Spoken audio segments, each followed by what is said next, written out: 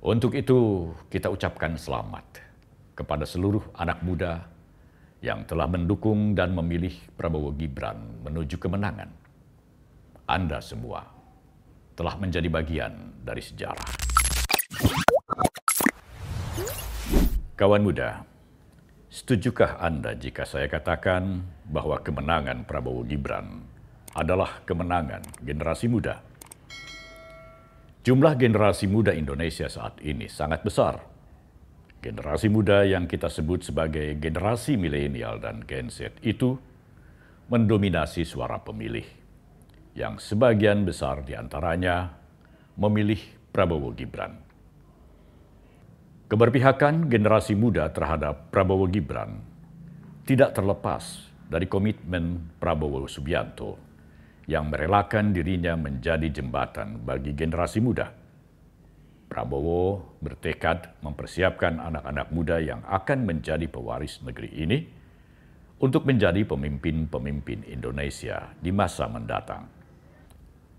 Keberpihakan generasi milenial dan Gen Z terhadap Prabowo Gibran juga tidak terlepas dari sosok cawapres Gibran Rakabuming Raka yang merepresentasikan generasi milenial Bahkan dalam sambutan kemenangannya di Istora Senayan yang dihadiri puluhan ribu pendukung paslon nomor urut 2, sekali lagi Gibran mempertegas komitmennya untuk terus melibatkan generasi muda dalam perjalanan menuju Indonesia Emas 2045. Gibran juga mengucapkan terima kasih kepada Prabowo yang telah memberikan kesempatan seluas-luasnya kepada generasi muda serta berterima kasih kepada semua pihak yang telah berjuang memenangkan Prabowo Gibran.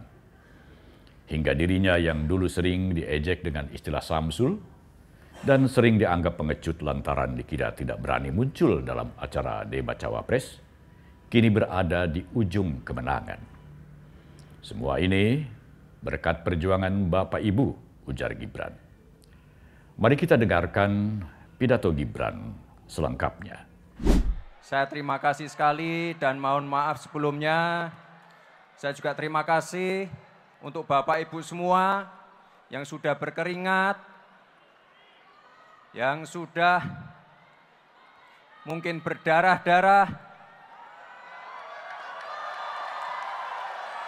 yang sudah menghabiskan waktunya untuk melakukan konsolidasi, kampanye. Saya terima kasih sekali. Tiga bulan yang lalu saya itu bukan siapa-siapa Bapak Ibu sekalian.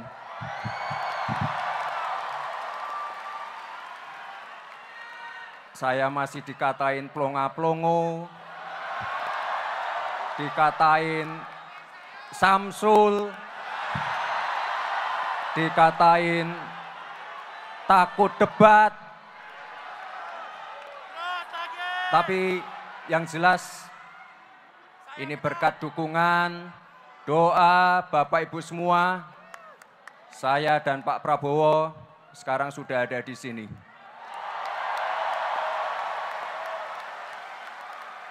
Saya ucapkan terima kasih yang sebesar-besarnya kepada Pak Prabowo yang sudah memberikan ruang untuk anak-anak muda seperti saya.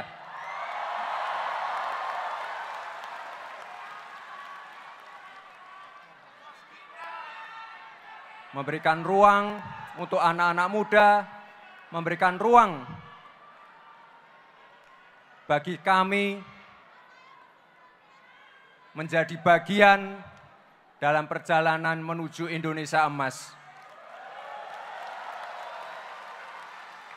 Ini luar biasa sekali Pak Prabowo sebagai teladan senior yang selalu memberikan guidance untuk kami anak-anak muda. Dan sekali lagi, kami tidak mengira angka dari quick count setinggi ini. Ini saya yakin ini angka angka yang tinggi ini karena anak-anak muda semua.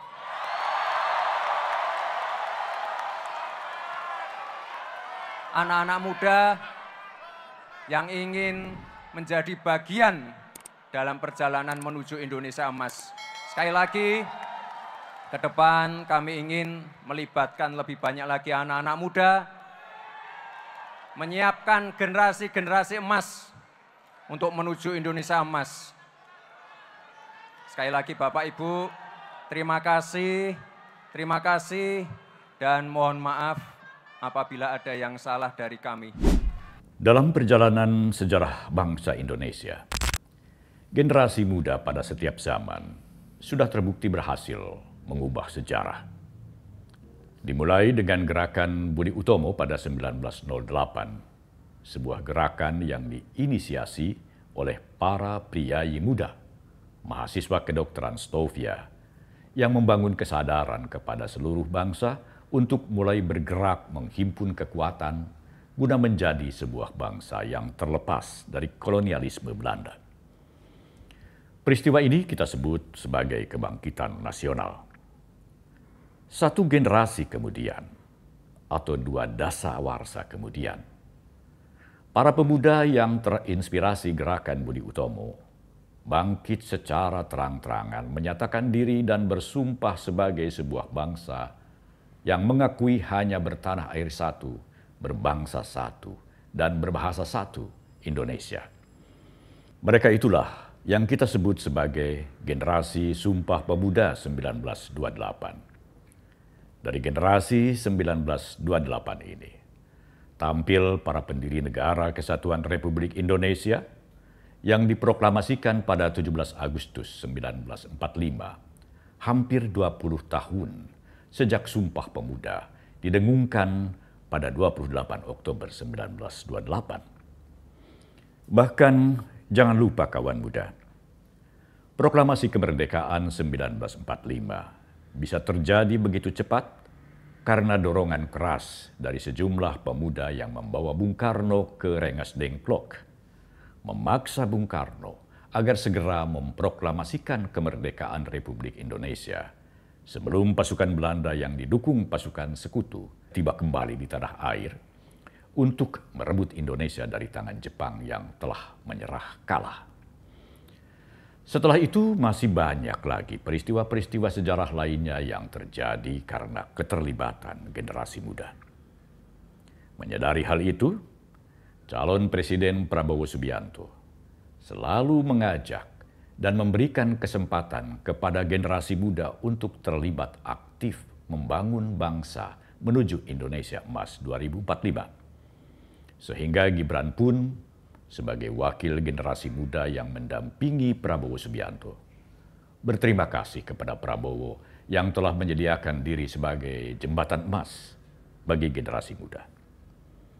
Jadi, tidak berlebihanlah kiranya jika kita katakan bahwa kemenangan Prabowo Gibran adalah kemenangan generasi muda yang telah secara sukarela mendukung dan memperjuangkan kemenangan Prabowo Gibran. Untuk itu, kita ucapkan selamat kepada seluruh anak muda yang telah mendukung dan memilih Prabowo Gibran menuju kemenangan. Anda semua telah menjadi bagian dari sejarah. Tidak hanya sebagai saksi sejarah, tetapi juga pelaku sejarah.